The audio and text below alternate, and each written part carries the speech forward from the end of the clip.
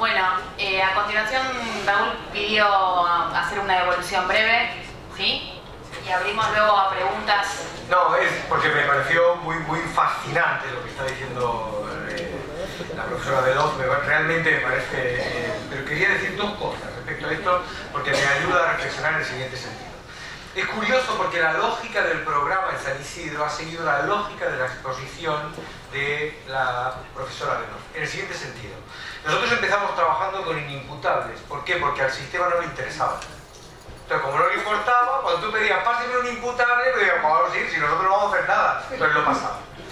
Cuando esto empezó a ir bien, por la suerte de que ciertos fiscales, defensores y jueces tenían olfato sobre lo que estaba pasando, empezamos, por ejemplo, a trabajar con fiscalía previa a la toma de la audiencia del 308 donde lo que se definía era la viabilidad del trabajo con el joven antes de tomar la decisión sobre la incorporación al sistema. Entonces el sistema le da un espacio al discurso restaurativo y le dice, dime antes de que yo reaccione, dime qué vas a hacer. Como eso empezó a funcionar muy bien, empezamos a trabajar las probation. Nosotros creo que el 90% de las probation hoy en San Isidro incluyen la regla de pasar al programa. No solo eso, hemos logrado, coordinando con jueces, que el juez nos pregunta, lo que nosotros llamamos probation de definición, cuál sería, el fiscal nos pregunta, cuál sería la mejor probation para este joven. Para este joven, dime cuál te parece. Nosotros hacemos todo un trabajo. Entonces eso ha ido creciendo. Hemos logrado, no, nosotros, todos, y esto es lo que me parece que es interesante. Por ejemplo, la firme convicción de que tiene sentido la modificación del sentido de una sentencia por la reparación integral del daño. Entonces, hay los dos espacios, porque lo restaurativo creo que tiene que ir construyendo estos dos espacios que tú decías. Hay un espacio de lo restaurativo dentro del sistema y hay un espacio restaurativo por fuera del sistema. Un programa restaurativo debe lograr conectar estas dos cosas.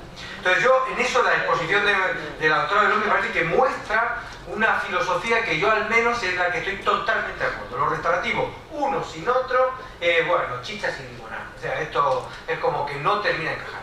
Lo que sí yo diría, como última consideración, es que yo, yo creo que hay que tener cuidado y espero que entiendan cómo lo quiero decir. No hay ninguna razón para suponer que un no abogado es restaurativista. Quiero decir con esto. Ojo porque hay, seguro que ninguno está aquí, pero hay psicólogos puramente retributivistas. Hay trabajadores sociales puramente retributivistas. Yo no antropólogos puramente retributivistas. Yo lo que digo es, probablemente nuestro debate es un debate mucho más profundo. Es una manera de entender las relaciones humanas y por lo tanto cómo lo enfocamos todos. Porque si no también, yo en esto quiero romper una lanza a favor de, de la profesión de juristas, porque hay juristas que creen el pensamiento restaurativo, incluso cuando no fueron educados para nada para eso. Y sin embargo a veces nos hemos encontrado que a veces ha sido más fácil trabajar con los fiscales que trabajar con la directora de la escuela donde estaba el chico. A veces ha sido más fácil trabajar con el fiscal, conversar con el fiscal, el fiscal te dice, claro que sí, ¿cómo vamos? No sé qué, y la directora te dice, hay que pegar, hay que castigar, hay que castigar, hay que castigar. Entonces, yo creo Creo que el tema está en cómo logramos una conciencia restaurativa de la multiplicidad de disciplinas. Porque si no, al final nos va a pasar que nosotros, los abogados, vamos a gritar restauratividad, restauratividad, y resulta que en el entorno la respuesta es puramente retributiva. Entonces, creo que ese es el punto. Y solo una última cuestión. Es sorprendente cómo al final el programa en San Isidro, y espero que pronto en Pergamino, que llevan dos años, en San Isidro llevan cinco, ha empezado a producir un efecto curioso. A nosotros vienen escuelas a traernos casos, entidades intermedias a traer casos. Digamos, por alguna razón, el entorno busca una respuesta diferente. El entorno busca la respuesta diferente. Por supuesto que esto tiene tránsito y esto lleva a un camino que hay que recorrer, pero creo que la clave es entenderlo desde ese espacio. Eh, creo que significa una comprensión global de la respuesta. Sin comprensión global, me parece que ahí va a ser complicado.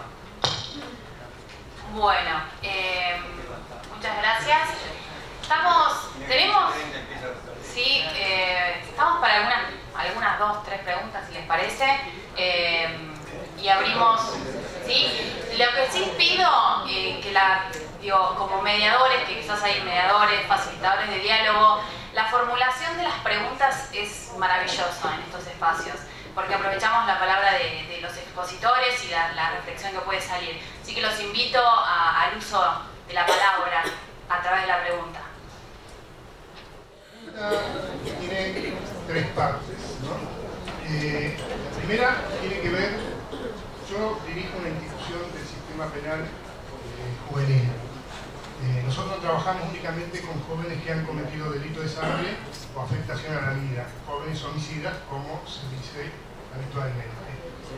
Y habitualmente tenemos un problema central, que son las derivaciones, o sea, el propio Poder Judicial, sabiendo que trabajamos con esta modalidad, nos llaman y nos dicen, tenemos un chico que anduvo por un montón de lugares y me parecería que era la Cuando preguntamos qué delito cometió, eh, puede haber robado, se puede haber peleado, entonces decimos, pero no está para nuestra institución. Eh, insisten, mandan oficios, nos presionan, nosotros resistimos siempre, nos presionan. Es como que al Poder Judicial, a cierta parte del Poder Judicial, hay algunas cuestiones que por más estén eh, normatizada internamente en el Poder eh, Ejecutivo, eh, tienen como la necesidad de mostrar que sí pueden ellos con eso. Y la otra cuestión que me parece a mí, junto con este reclamo de vacantes que hacen eh, en forma reiterada, es como, es como el juego del Tetris, que tienen un chico que lo tienen que meter en algún lado de alguna manera.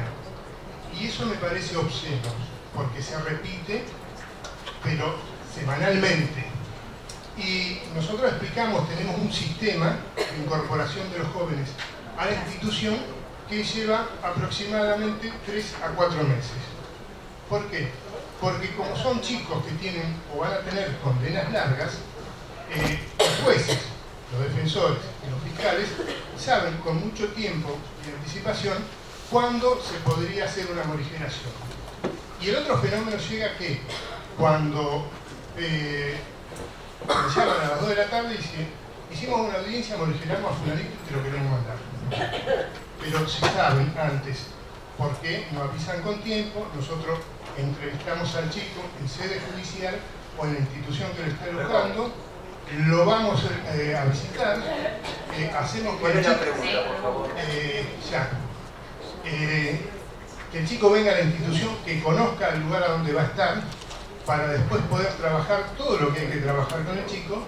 Este, y, la, y, la, pregunta concreta es, si nosotros, como Poder Ejecutivo, estamos siempre presionados para hacer lo que el Poder Judicial necesita, no hay forma de que esto eh, se arregle, porque, digamos, ¿cuál es eh, la, solución? Eh, no viene, digamos, por la vía de, la palabra, siempre viene por la vía de la presión. Y la otra pregunta que viene ligado a esto es, muchos, yo por ejemplo tengo muchos chicos que vienen, por lo menos el 50% de los chicos que vienen a la institución, con juicios abreviados. O sea, el juez que lo atiende en primera instancia muchas veces es el que hace el juicio abreviado. O sea, el juez de garantías también termina siendo el juez de ejecución. Y eso me parece también que es una contradicción. Bueno. Sí, hacemos todas. Bueno, primera pregunta. ¿Otra pregunta? ¿Sí? Bueno, eh, sobre el primer problema no, no, no, tengo nada para decir, digamos, si se trabaja mal, se trabaja mal trabajar bien. Está mal, está mal, no hay es muy difícil. Eh, es muy difícil que nos pongamos de acuerdo, eso es restaurativo, de una manera como puede hablar el judicial con el ejecutivo, pero la, evidencia de que está mal. Sobre lo segundo, el juicio abreviado es una, un mecanismo de descompresión de la justicia penal general, que es uno de los que se trasladó, es incompatible por varias razones, yo lo he publicado hace años, eh, para molestia de todos mis colegas, defensores y también defensores, ¿eh? Eh, porque no, es incompatible con el derecho internacional de los derechos humanos de la infancia.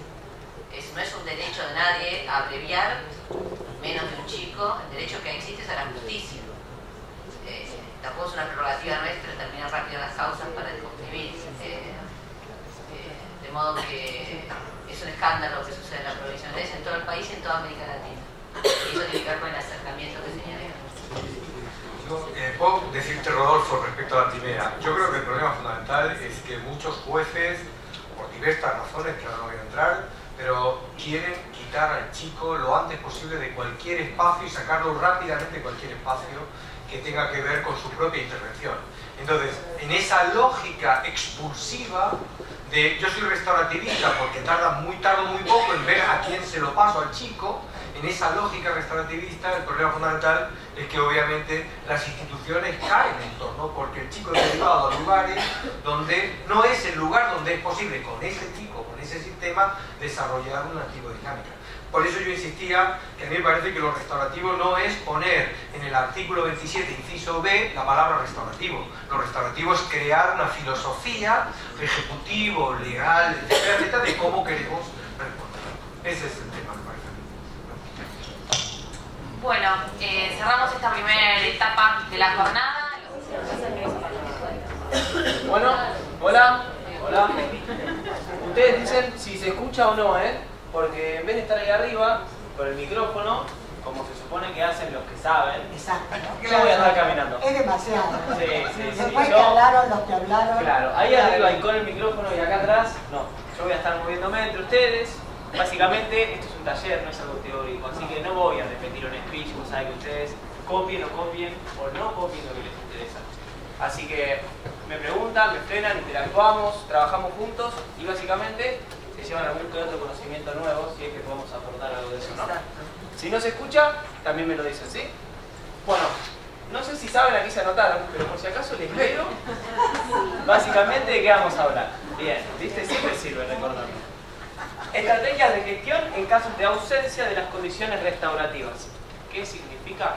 Tranquilos, lo van a saber, les vamos a explicar todo. Primero yo me presento, soy Nicolás, soy abogado, trabajo en el ámbito judicial y también trabajo por las tardes en justicia restaurativa. Hice el curso con Raúl y me estoy metiendo de a poquito. Soy el más nuevo de estas cuatro personas. No el más joven. No, tampoco. El más nuevo. El más nuevo. Y mis compañeras son... Ana Clara Rosaroli, bueno, yo soy abogada, mediadora, también soy abogada de niño. Este, trabajo como independiente, como abogada en familia, trabajo como mediadora de la provincia de Buenos Aires, como muchos de los que están acá, y como abogada de niño, y los lunes a honores en la Defensoría del Niño del Colegio de Abogados de San Isidro. Y la verdad que abrazo este trabajo con pasión y como seguramente todos ustedes. Bueno, yo soy Silvina Laura Maganás, también soy abogada, mediadora, eh, soy orientadora familiar sistémica, eh, una formación que podemos hacer los abogados y que nos aporta un montón y justamente como se habló hoy toda la mañana, este programa, o sea, todo lo que es justicia restaurativa es sistémico porque habla de las relaciones, así que bueno, a mí me, aportó un montón. Después, bueno, eh, estoy en el centro de mediación, haciendo mediaciones de familia los jueves, así como van a estar los lunes en la Defensoría. Eh, ¿Y qué más? Estamos en el programa, juntos, este, trazando este nuevo camino, ¿no? Bueno, como estuvieron exponiendo hoy, así que le doy el paso a la Hola, soy Cristina Davio, también abogada, mediadora en el Centro de Mediación de hace muchos años. Eh, ahí trabajamos junto con el consultorio público gratuito y bueno, yo creo que lo restaurativo es amplio. Bueno, eh, me integré al programa hace un año, así que estamos trabajando todos juntos. Eh, armamos un equipo en el día a día, ¿no? vamos creciendo y aprendiendo y bueno, somos un lindo equipo de, personas que, creen en que esto podemos cambiar un montón de cosas. Así que bueno, estamos acá para aportar lo que sabemos y que aporten ustedes también la visión de ustedes. Bueno, gracias de ustedes en general este, abogados no mediadores mediadores ahí tenemos mediadores sí, trabajadores sociales trabajadores sociales sociólogos profesor de jurídica ah, socióloga. Psicólogos. Poder judicial. De otras Ah, psicopedagogas. Y de otras provincias que vinieron. Asistente de minoría. Ah, Asistente de minoría. Bien. Bueno, Provincia por dos. Bueno, ustedes, sí, que vinieron allá, allá. más Sí. bueno, acá hay gente de Lomas, ¿de dónde más? Pilar. Pilar, Pilar, Campana, Moreno. Moreno. O sea, variadito. Sí. Bueno, muchas gracias, ¿no? Por también. Vamos a arrancar de a poquito. Eso es. Empecemos. Un poco para entender cuando nos entre un caso cómo es nuestro proceso y vamos a llegar a lo que vamos a hablar en particular. Primero, estas son las etapas, no todas, porque yo lo corté hasta donde más o menos lo que nos interesa. La primera, la primera queda claro, no hay anteriores. La etapa previa, nos llega un caso, evaluamos más o menos si da para el, para el programa o no, le damos para adelante si consideramos que sí. Reunión informativa, nos juntamos con el joven, le explicamos el programa, la cámara Excel, cómo funciona, la confidencialidad, más o menos las bases del programa. Cosa de que se sienta cómodo, empezar a conocernos y ver cómo seguimos. Un poquito también, el joven nos va a devolver y nosotros lo vamos a conocer a él, de a poquito vamos conociéndonos. La reunión exploratoria sea un poquito más profunda la, la conexión. Perfectamente, la reunión exploratoria puede ser en la misma que la informativa. Y quizás, si avanzas muy bien, puede pasar. Empezás a conocer y empezás a ver cómo viene la mano. ¿Qué tenés, qué no tenés para trabajar? ¿Qué quizás tenés en falta o lo que sea? Entonces, en base a lo que pudiste explorar, en base a lo que descubriste del joven, que sí sé que tengo esta falencia, voy a tener que trabajar por el otro lado, etapa de gestión. Y ese es el tema que vamos a hablar ahora. Es una de las partes más importantes del programa, porque el programa no es un lo voy armando al tuntum. Raúl siempre dice, y para mí tiene razón, si vos entras a la intervención sin saber para dónde la vas a llevar, estás perdiendo el tiempo. Vos tenés que tener más o menos trazada la estrategia de dónde vas a ir en la intervención. Ya tener un norte, decir, bueno, tengo este caso, tengo esta falencia, trabajemos así. No es entro e improviso que hacemos. Porque básicamente estás malgastando tiempo, recursos y oportunidades. Entonces, etapa de gestión, trabajo en las condiciones. Tengo que tener ciertas condiciones. Como dijimos, no todo joven puede estar o apto para el programa o puede tener ciertas carencias, faltas en las condiciones que hacen que haya que trabajar un poquito para decir, bueno, listo, ya lo doté de lo que el joven necesita, ahora podemos trabajar. ¿Por qué esto? ¿Por qué no todo joven está? Las condiciones necesarias y su porqué. En este programa, básicamente, en vez de poner al joven en el estrado, decirle lo que está bien, lo que está mal, culpable 5 años, nos ponemos todos a la misma altura. Hay un daño, lo trabajamos, ¿qué vamos a hacer? Entonces, yo necesito que el joven esté comprometido, que las obligaciones sean propias. Que no diga yo voy a que me den una pena, la cumplo, te pagué y no nos vemos más. Entonces el joven tiene que ser parte de esto. Obligaciones propias y partícipe.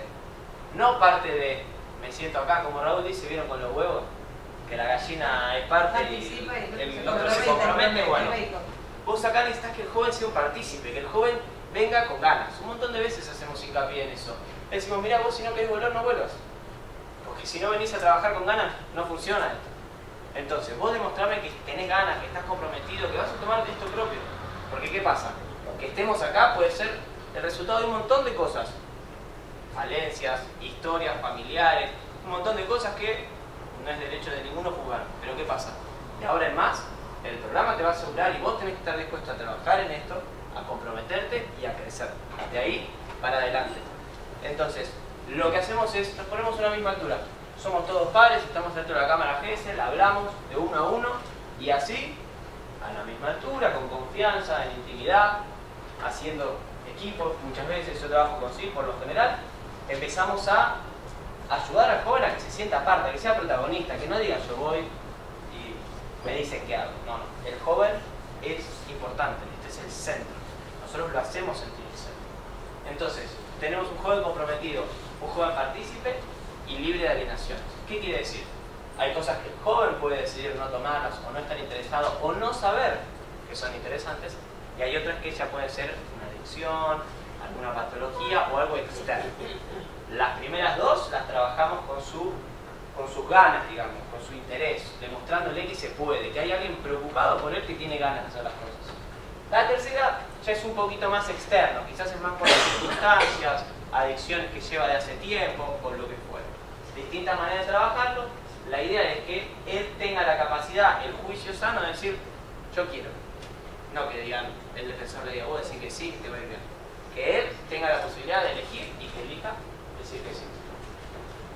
Entonces, cuando yo tengo esas tres, ya tengo un joven que tiene ganas. Pero ¿qué pasa si no las tengo? ¿Qué hago? Lo primero que tengo que hacer es identificar el problema. Como dijimos, siempre una estrategia, siempre un plan, vamos para adelante. De la narrativa misma, de hablar con el joven, yo voy a sacar más o menos dónde está el problema. Tiene una adicción, por ejemplo, que es algo muy claro y que la verdad que se da un montón en los jóvenes. Si tiene una adicción, la vamos a tratar. Pero primero la tengo que identificar. Si yo me siento a hablar con él de fútbol, de cómo la pasaste ayer, pero en ningún momento llego a tocarlo al joven adentro y darme cuenta qué es lo que tiene y qué es lo que no, difícil voy a poder hacer un diagnóstico de lo que le falta. Pues, ¿Puedo meter un, paréntesis ahí en esto que estás diciendo y que tenemos acá una de las integrantes que estuvo participando en un caso eh, donde el joven eh, vino por, un juzgado eh, con una probation, ¿no? Ya tenía que cumplir ciertas pautas. Pero lo que identificamos como mayor problema, más allá del conflicto con la ley penal, era la adicción. Entonces ahí las reglas de la probation era que el joven fuera al CESOC, que acá está Ángeles Zambrano, que es una de las este, grandes trabajadoras de, de, ese programa y que articula mucho con nosotros. ¿El CESOC qué es? El CESOC es el Centro Sociocomunitario, era el antiguo centro comunitario, ¿no Ángeles? Eh, así se llama, centro de referencia, perdón, ahora es Centro Sociocomunitario. Eh, que la función que tiene un poco es también hacer el seguimiento de los jóvenes y que cumplan las reglas. Y después estábamos nosotros y como, con, bueno, obviamente no salir a la noche, no consumir alcohol, no consumir drogas, a, eh, concurrir al colegio. Un momento en el que detectamos que era tan grave el nivel de adicción que en realidad como cuenta Nicolás, en la teoría el programa lo que indicaba era hacer un paréntesis. Entonces acá, con la adicción, veíamos que no estaban las condiciones dadas porque no se podían trabajar. Deberíamos haber derivado y dejado, digamos, al joven que fuera a un lugar a tratar su adicción. Pero vimos que no era tan fácil. Ahora con la ley de salud, la internación es voluntaria y él necesitaba contención. Entonces armamos un círculo restaurativo con Ángeles del CESOC, con la escuela del joven y con, el programa, eh, nuestro programa que me acompañó ese día. Yo era la operadora a cargo, ese día vino a la escuela conmigo, a la escuela, nos juntamos y coincidimos en que teníamos que acompañar una internación voluntaria. No resultó, primero fue una ambulatoria. Finalmente hoy el joven está en una internación voluntaria y está este, progresando con casita azul que depende del obispado. Eh, bueno, esto muestra que a veces la práctica nos excede un poco la teoría, porque lo que debiéramos haber hecho inmediatamente era hacer el paréntesis pero también nos dimos cuenta que si no hubiéramos acompañado a gestionar a ese joven su decisión de internación, que era en su propio beneficio, se nos hubiera caído. Así que bueno. Claro. Igual en eso, dense cuenta una cosa, se ve el compromiso del programa. Obvio. Es lo que Raúl decía. Derivar para muchos jugados es decir a dónde va. Claro, Pero no acompañan. Claro. Entonces, cuando vos tenés una patología o una adicción, ves que hay. La adicción decís, bueno, la trato. Entonces, ¿qué decís? Una vez que esté rehabilitado, yo puedo seguir en el programa. Pero no es lo mando y me desvinculo. Se lo acompaña al joven para que él mismo tenga ganas de meterse. Porque ¿qué pasa? Si él no quiere cambiar, perdemos el tiempo. necesitan sostén muchas Sí. veces, que es lo que les dimos. ¿no? Entonces, el compromiso del programa es decir, acá estamos, estamos juntos, vamos a hacerlo. Se acompañó al joven un año más o menos. Y sí, un año. Un año hasta Sí. que él mismo pudo tomar la decisión de decir, me interno. Sí. Y ahora está internado. Sí, y la, la idea, digamos, en teoría lo que debería ocurrir es que si él o sea, egresa rehabilitado, vuelve al programa a trabajar la, la responsabilización, quedamos ahí detenidos, ¿no? Perdón, ¿y no puede ser como paralelo que el chico, por ejemplo, haga un tratamiento ambulatorio y esté dentro del Sí, programa? lo hicimos, Sí, sí, sí. pero no funcionó. Contale, Ángeles. Contale, contá, contá. Sí, porque trabajamos articuladamente en Bueno, lo que equipo. pasa es que se, bueno, yo tenía un alto nivel de consumo problemático, digamos, de sustancias y se le iba cayendo todo, como que agarraba un laburo tres días se le caía, se iba con que tenía toda una lo íbamos obteniendo, pero con de el agua que O sea, en la misma escuela, que es una escuela pública, no lo podían contener, tuvo que irse de la escuela, como que pasaron muchas cosas en el camino, de, que ya de llegar a venir también casi paralela con- conmigo. Entonces, la familia también insistía para que el joven fuera internado, como no tiene un nene muy chiquito y no, no, no comprar pañales, digamos, como cosas básicas de su sobrevivencia. Y entonces, después de un año mismo, él mismo, después de muchas charlas con Silvina, muchas charlas conmigo, y de, de- de hacer un tratamiento ambulatorio donde tenía eh, psicólogo, iba todos los días a un espacio, todos los días, todas las mañanas y todo, él dijo, un día no puedo más. Chao, hasta acá llegué. necesito- ahora Pero sí fue una liberación, que no ¿no? digamos. Como que no lo podía sostener. Igual estuvo buena la pregunta, porque esto es caso a caso. Podés tener un joven que la adicción no es un problema tan grave al punto de decir se interna y es ambulatoria y lo tratamos con el programa. ¿Qué hace el programa? El programa Esto coordina. Claro. un punto que no era posible. Entonces, según caso a caso, tenemos una estrategia de gestión.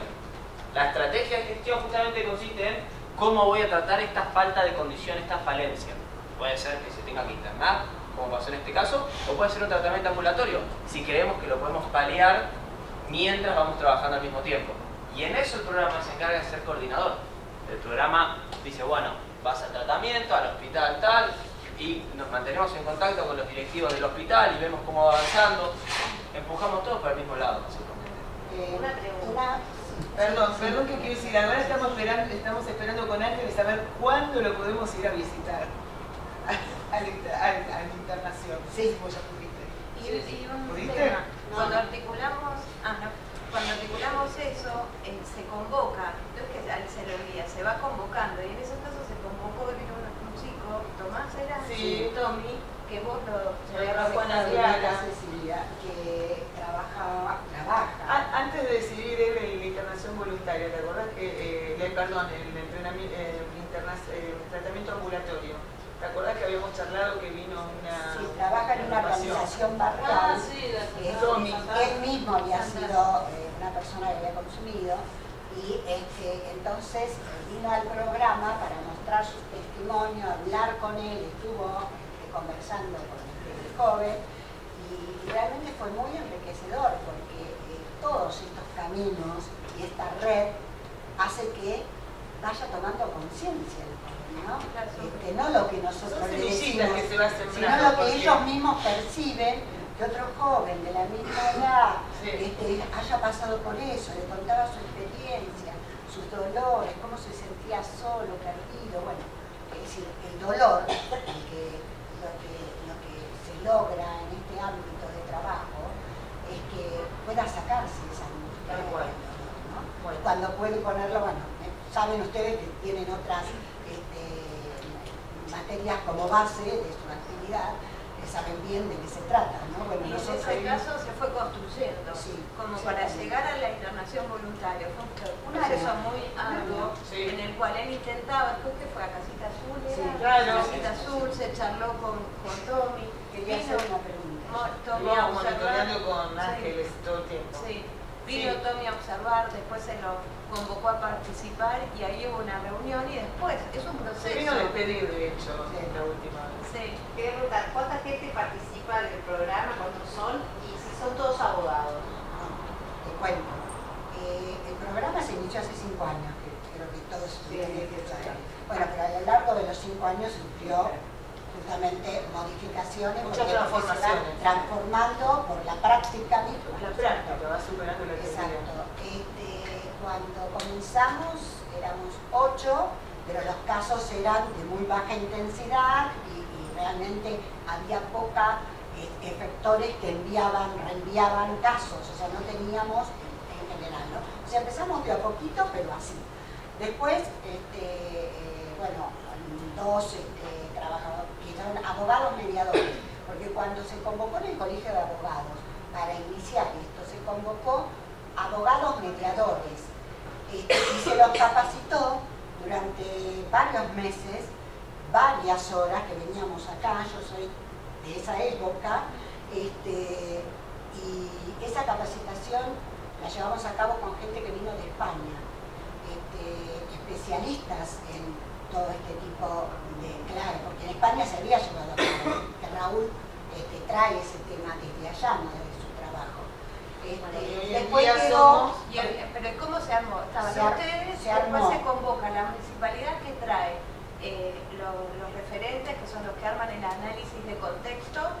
En ¿no? algunos casos, porque vamos a ver que los de arresto la domiciliario, en ese caso lo- los ha hecho la operadora. En definitiva, Pero en ¿de el qué equipo forma? hoy somos eh, Cristina, eh, Silvia, María, que no pudo venir por un problema particular, este, Nico. Nico y, Y. Sala. Eh, eh, Nosotros somos abogados.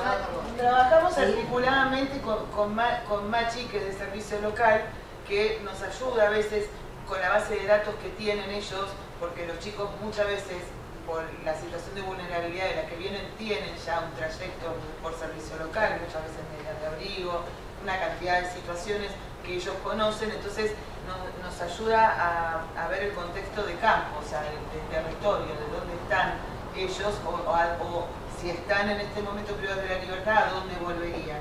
Eh, pero también es verdad, y, y quiero, digamos, legitimar, que eh, estos operadores que somos, estamos formados también interdisciplinariamente. Ya han escuchado, los mediadores tenemos herramientas que vienen de las interdisciplinas. Eh, Nico aporta con todo digamos, el conocimiento de cómo funciona eh, el, digamos, el sistema retributivo paso a paso que nosotros no lo tenemos. Eh, Ana aporta desde su lugar de abogado del niño, yo como orientadora familiar o mediadora familiar, Cristina también, con lo cual, o sea, usamos la interdisciplina, pero a su vez nuestra intervención es interdisciplinaria porque tenemos una formación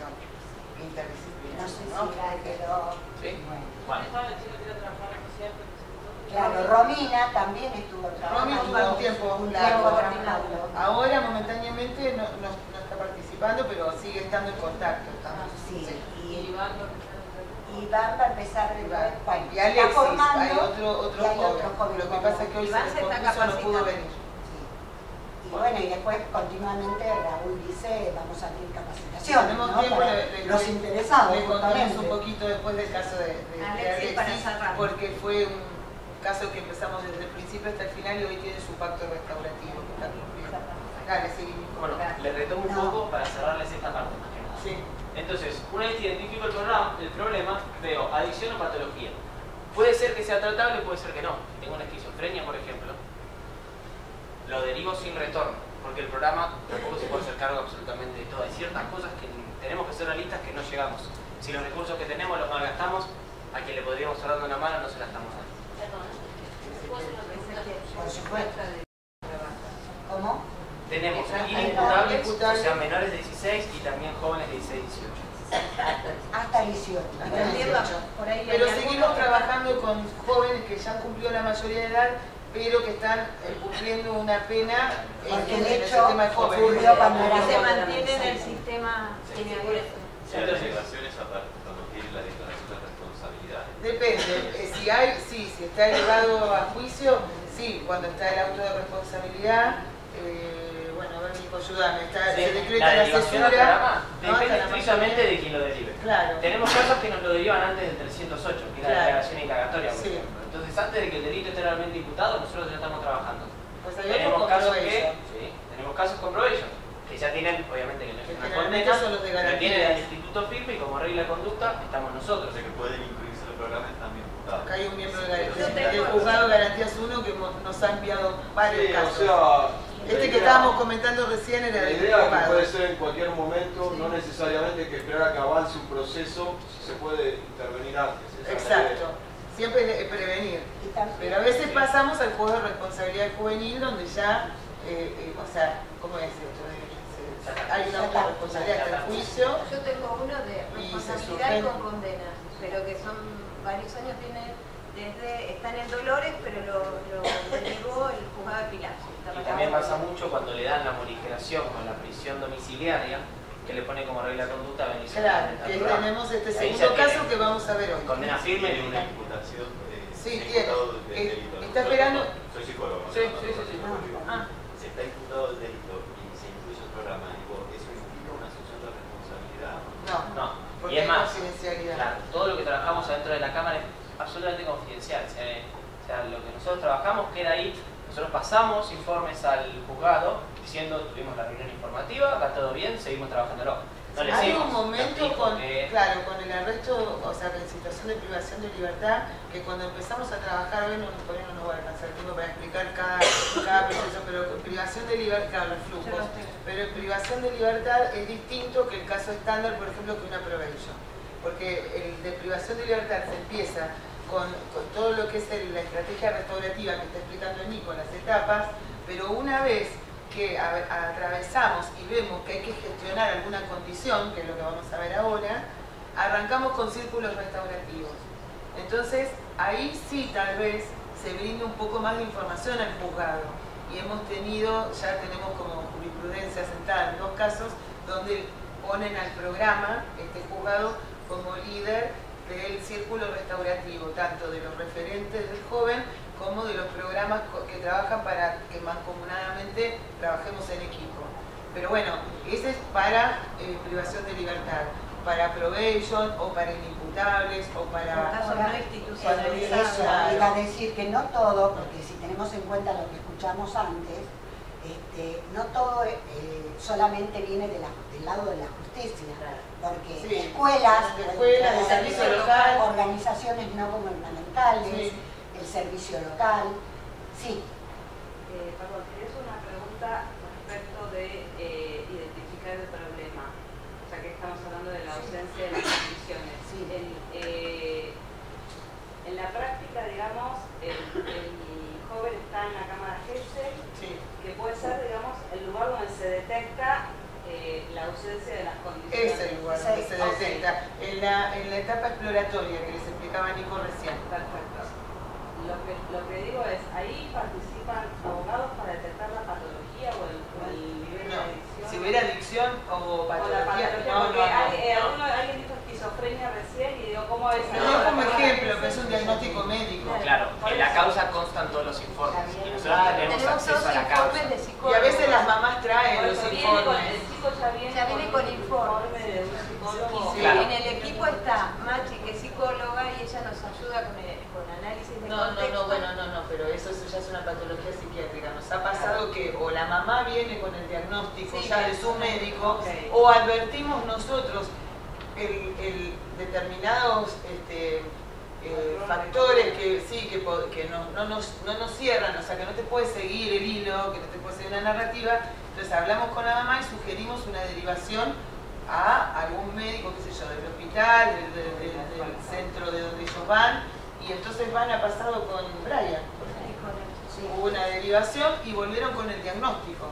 Inclusive también cuando nos derivan Nosotros el caso, nosotros como operadores nos presentamos en el juzgado y vemos la causa.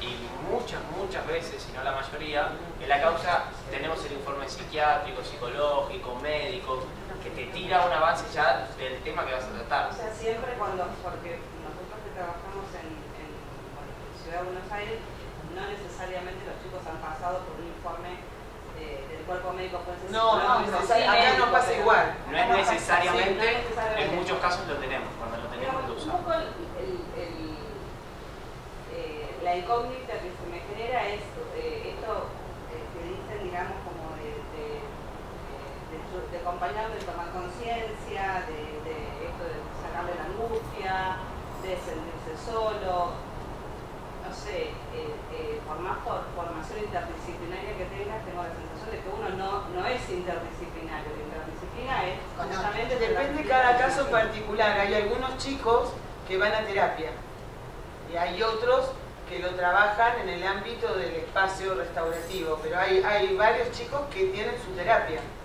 Fuera, por supuesto. Entonces nosotros tomamos contacto, a veces hacemos una red y bueno, ahí nos informamos qué está pasando, cómo podemos seguir manejando justamente el tema de eh, si las condiciones no están dadas para intimar lo que son un reconocimiento, una responsabilidad y después una preparación, si no se dan las condiciones, a eso llamamos inmadurez en las condiciones, entonces bueno, ahí empezamos a trabajar con estas Sí, distintas pero hay un detalle importante, que por el ahí círculo, cuesta... digamos, en, en lo que llaman el círculo... No, no tiene No. que No, ve, lo que pasa es que por eso, eh, Vamos paso a paso, porque las condiciones son agregativas, o sea, una no puede, o sea, no, no hay que una sí y otra no. Primero una, después la otra, después la otra. Por eso eh. Básicamente lo que yo estoy planteando es la base. Una vez que está para tratarlo, vamos a empezar con las tres R's, que son las Vamos a ver claro. Y con los videos vamos a ver bien como cada caso y con el ejemplo. ¿Sí? Ya estamos para el video así. Yo les diría que observen y escuchen a ver qué les A ver, a ver qué les- lo que les ustedes mirando, viendo. Este, esperen, les explico brevemente, es un caso de privación de la libertad. El joven llega al programa cuando ya está en situación de arresto domiciliario. Eh, es uno de los primeros encuentros, o sea que justo para, ya les adelanto que eh, no está ninguna de las condiciones dadas, pero a ver si detectan, eh, bueno, los elementos, ¿no? Díganme si el volumen está Sí, bien o muy que fuerte. se ve bien. porque se escucha. Bueno, con para No, estaba bien el Mateo. Y, yo lo, tenía resumido, viste, lo escribí y me envié también. Y lo tenía resumido en una hoja, lo escribí yo con el libro, viste, Ajá, y me envié el papel. Ajá. ¿Y hablaste con, con, Con la obra, sí. Porque lo primero no, no era, no me acordaba de la palabra, pero no sabía de qué era. Y lo más. Bueno, recordamos brevemente, y así este, lo, lo, lo pasamos con Raúl, que es una pa- Les explico brevemente. Esto venía en una entrevista anterior. Entonces se le había dado la actividad, él vino este, como, después vamos a hablar y hoy creo que Raúl lo conversó, que los chicos que vienen de, de haber estado en centros cerrados, vienen como con una capa de imprimación donde ellos te dicen lo que vos, lo que ellos saben que vos esperás escuchar. No, ya está todo bien, bueno, listo, ahora estoy haciendo todo bien porque este, voy a, al CESOC, vengo acá, el juzgado tengo la audiencia, ya se termina todo, quiero olvidarme, ya está. Ya Bueno, pagué. todo, sí, ya estoy, estoy- yo estoy cumpliendo todo, todo lo que me dicen. Entonces, eh, me trae la carpeta el día anterior y todo 10, todo excelentes notas. Eh, entonces, digo, bueno, qué inteligente. Y bueno, me surgió decirle, como, como él trajo, que su abuela es pastora, o sea que hay una, una creencia religiosa, una, una iglesia evangélica, que utilizamos ¿no? Eh, lo que es afín a los chicos, y le di como tarea para el hogar que leyera la parábola de los talentos, a ver qué le significaba a él y qué le podía traer a su vida. Cuestión que acabamos evaluando también eh, cuáles son las condiciones de responsabilización en lo cotidiano, el acordarse, el organizarse, el cumplir, bueno, van a ver que viene y dice, no, porque el papelito me lo anoté, y es súper prolijo, pero eh, no lo vean, sí, no, pero era otra cosa, bueno, les adelanto para que entiendan. Entonces yo suplo eso y se lo digo rápido, porque la idea era que traer a Raúl hacer como una estrategia del bueno y del malo, porque yo había tenido una entrevista anterior donde no íbamos ni para atrás ni para adelante. Entonces a veces hacemos estas estrategias de hacer tipo shock, que van a ver que es fuerte, pero es intencional, no es... Lo que este, siempre constatamos, todos los chicos, seguramente ustedes también a través de su trabajo, es que no tienen ningún tipo de organización en lo cotidiano. Entonces uno les pregunta, este, ¿qué hiciste ayer? Ah, dormí, eh. Y eso tiene que ver con las dos primeras condiciones, que son el reconocimiento y la responsabilización. Porque, sí, Sí. Lo que pasa es que, a ver, los chicos que vienen de instituciones cerradas, sí, digamos, no son autónomos para nada. no. Ni en el horario de bañarse, ni en el horario de levantarse, ni cuándo van a comer, ni cuándo van a hablar por teléfono. Bueno, eso es lo que a empezamos a ejercitar. Y eso después lo siguen llevando que lo vamos a ver en la responsabilidad, que bueno, acá no se va a ver con Jonás, pero sí, eh, este, y sí se, vio en el otro caso que hemos tenido, donde todo el tiempo se le repetía que era su elección, porque esto que vos decís salía todo el tiempo, bueno, pero yo sí tengo que, yo estoy obligado, yo no puedo. No, vos sí podés, vos tenés, vos podés decidir, es tu elección. Entonces de a poco ellos van como internalizando esto de la libertad, que es la única posibilidad de ser responsable. O sea, no hay manera de ser responsable si uno no se siente libre. Si uno se siente esclavo, se siente sometido, no puede ser responsable. Es tal cual lo que vos decís, pero es un proceso. Exacto. ¿no? A pesar de lo que justamente vos decís, en el instituto, en ese lugar, tiene horarios para levantarse, tiene horarios para bañarse. No. Entonces, justamente, tiene horario no, para nada. no tiene horario para nada. Entonces, nosotras mismas advertíamos muchas veces en el contacto con ellos que, bueno, si no estuvieran en la casa, si son chicos que no, no vienen desde la casa, vienen de algún lugar, este, como bien decimos, un instituto, este, entonces, ¿qué pasa? Se da lo mismo, se da lo mismo, lo que venían de la casa, sin un padre, una madre, un mayor que dirigiera mínimamente, no en el dirigir, sino en el enseñarle, en estar, en apoyarlos, solos, están solos, les pasa en la humanidad de ustedes, ¿no? Bueno. Paramos la que está en, en el Nuevo Testamento, que Jesús en algún momento le cuenta a sus discípulos. ¿De qué trata? Que hay un siervo, un, perdón, un, un, este, Eran cuatro. Sí, llamaba en aquella época, un señor, un amo que tenía siervos y que se va de viaje, que da a cada uno distintos talentos. A uno le da 10, a otro le da 5 y a otro le da 1. Entonces se va diciendo, diciendo simplemente cuídenmelos o, o ténganlos a salvo. ¿Viste? Yo, yo no, porque yo no traía la baja. No, porque lo más importante no es la parábola, sino la moraleja. O sea, o qué, qué, qué reflexión a hacer. La cuestión es cuando vuelve, ¿no? Este, este señor le, le cuenta a su siervo que hizo con. Entonces el que tenía 10, dice, bueno señor, yo he invertido, he trabajado con tus talentos y tengo 20. Pero lo pasa es que porque yo no leí eso, parece que leí otro, porque no decía todo eso. Ah, ¿no? Sí, ¿no? Bueno, lo mismo. No, no, yo lo busqué, me dice que me dijiste buscarlo por celular. Sí, la palabra que tenés. Lo busqué, viste, también. Sí, pero no, no era, no decía. ¿No? Bueno, la palabra que tenés. Lo importante es que a uno le da 10 talentos y el, el servo trabaja por esos 10 talentos, los invierte, los multiplica y los convierte en 20. El que le dieron 5 lo multiplica por el doble, por 10. Y el que le dieron 1, cuando vuelve, el, el, amo, le dice, ¿qué has hecho tú con tu talento? A los otros dos le dice, tienes el, el reino de los cielos a tu pie, basta, adelante. Y le devuelven los 10 talentos a uno, al otro los 5, y quédate con los 10 talentos que has sabido ganar, que has sabido Claro, trabajar claro, con eso que yo te di. Lo supo usar y lo supo usar bien. Claro. Bueno, el que tenía un talento dijo, bueno, yo lo escondí, lo enterré en la tierra, porque como a mí me dijeron, ¿ves?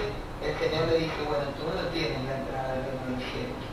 Tú te vas, bueno, como a la Biblia del infierno, porque no has sabido trabajar con esto que yo te di. Y si tú sabías que yo te iba a pedir cuenta, entonces tendrías que haber aprovechado ese talento que te di. Entonces ahora le enseñan acá. Y yo me quedé pensando y esperaba ver que vos, ¿qué, qué, a ver, qué, qué sacas de esto? No, no, pero era la, no era esto. No importa, olvídate, pero esto que yo te estoy contando. Bien. ¿Qué hizo el de- el que tuvo un talento? Y nada, y lo enterró en la tierra, porque me dijeron que si lo perdía o algo le iba a pasar mal. Claro, que más allá de eso, no, no pensó en poder utilizarlo No, a su favor y a favor, no. Lo enterró porque sabe que si lo perdía lo usaba mal capaz que el señor ¿hubo algún dato diferente en cuanto al, al amo con respecto a los esclavos? A, lo- a los otros lo trató bien y a este lo trató. No importaba la cantidad de Claro. talentos, sino lo que le importó al amo que lo sabía utilizar. Claro, lo supieron Bueno, utilizar. yo me quedé pensando en esto, y lo hago rápido porque quiero que Raúl empiece a intervenir. Y la otra vez hablamos mucho acerca de, vino Jonás y me trajo su carpeta y toda una maravilla, es rapidísimo matemáticas, todo bien, todo excelente. Y concluimos que es un chico inteligente. Eh, también concluimos que su inteligencia a lo largo de la entrevista este, la, Ah, sí. la supo utilizar para tener una respuesta para todo. Ah, no, yo eso lo estoy haciendo con alma, Ajá. porque es socio comunitario. Entonces, ah, viste, yo me olvidé llevar un papel con yo ahorita lo mal. Hay que trabajar el tema de los servicios. No, sí, me... Porque todo está jugado y te lo piden. Sí, y primero el papel, mira, acá lo tengo. Si me olvidé ya lo que estoy él. Bueno, mira, la reflexión final. Vos tenés un gran talento, según vos me dijiste, Ah, probar, gran talento. que es inteligencia. ¿Cómo lo utilizaste en tu inteligencia?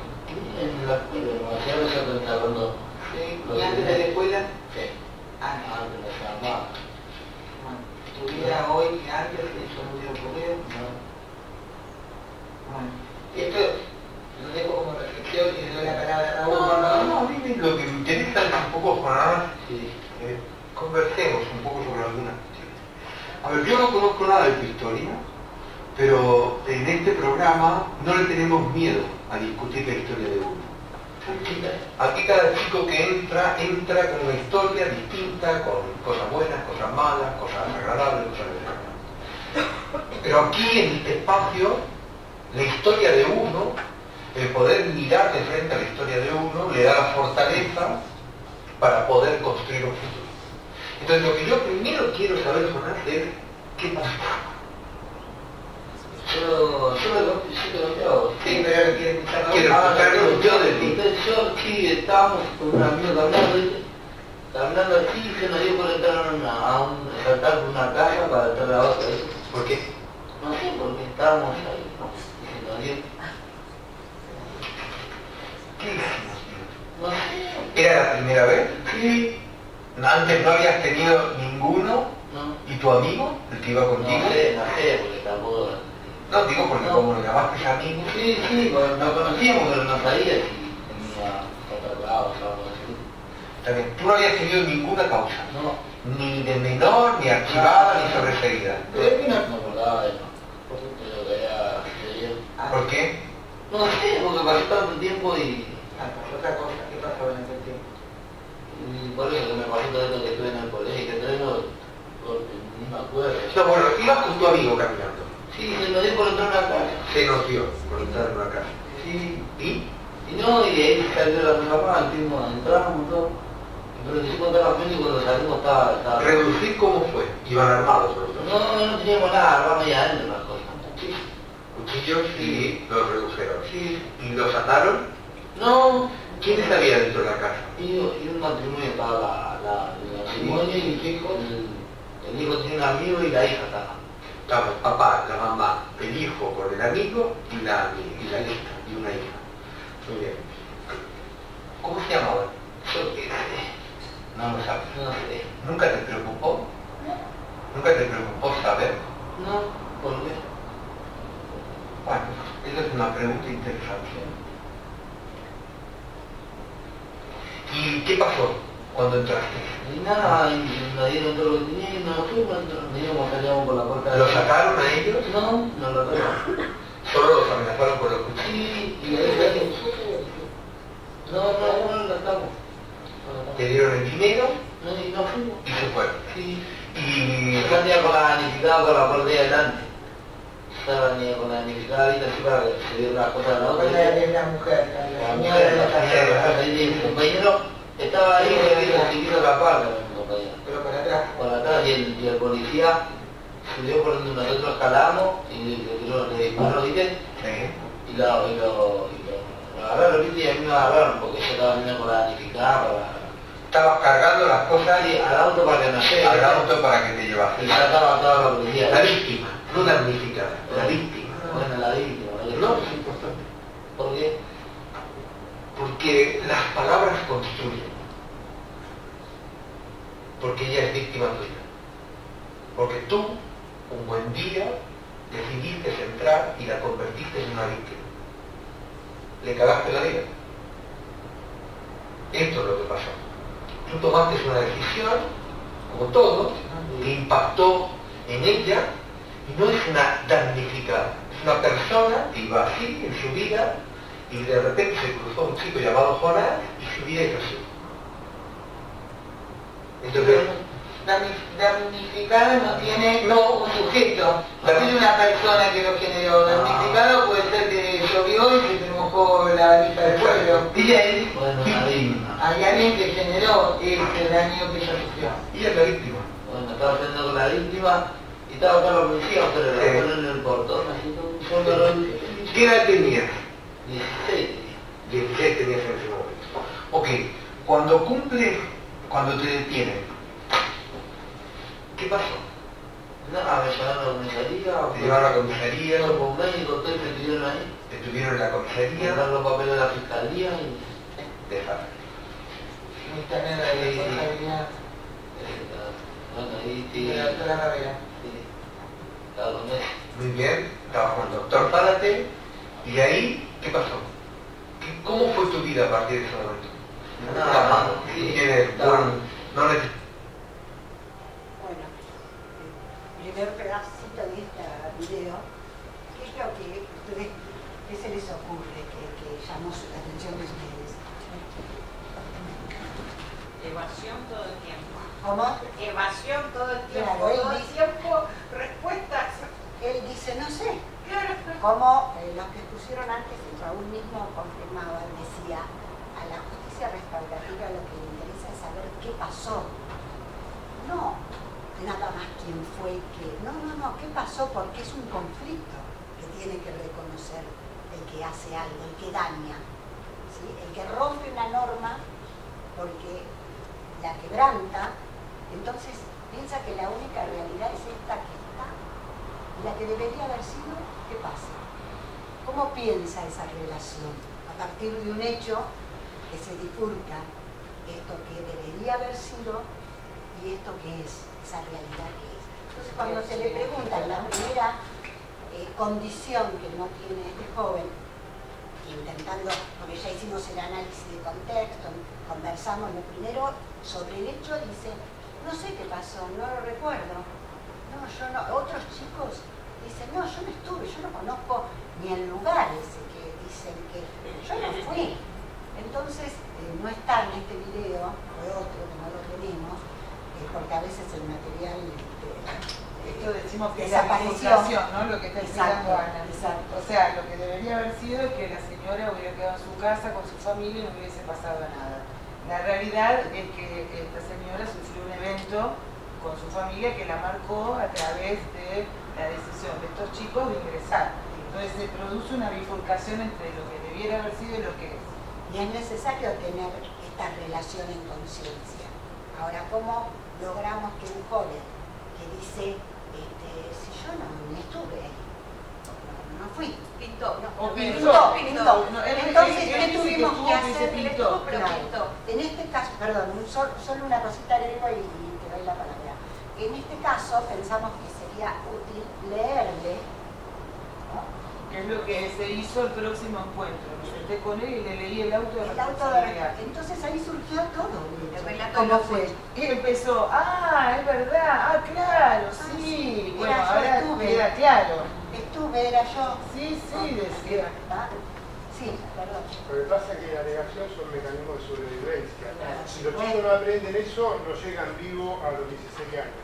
Tal cual, Bueno, son mecanismos cual. defensivos, pero que en este ámbito donde, digamos, lo restaurativo tiene que ver con mirar de otra manera las relaciones humanas. Es un cambio abrupto, pero la realidad es que nosotros, nuestra intención es poder mostrarles que hay otra oportunidad, que hay otra manera de mirar las cosas, que hay otra manera de sentirse dentro de una comunidad, cosa que es el opuesto a lo que estaban viviendo y es de- lo que vos decís, es un mecanismo de supervivencia. Por eso, discúlpame, continuamente es un proceso, porque ellos vienen de, por ahí de estas instituciones en los cuales están a la defensiva, entonces primero es el vínculo, o sea que yo te veo, miro al otro, que les visto, que se ha escuchado, que hay alguien que le importo, y el tema de la confianza. Entonces, y eso se va haciendo a poquito, se va creando el, el vínculo y la confianza.